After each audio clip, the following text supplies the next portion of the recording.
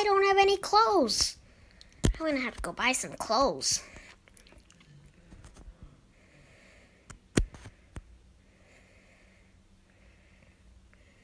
Hey, clothes store.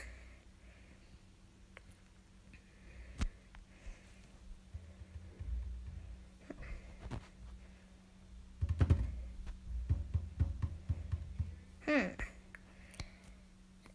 I want to pay with card. Okay.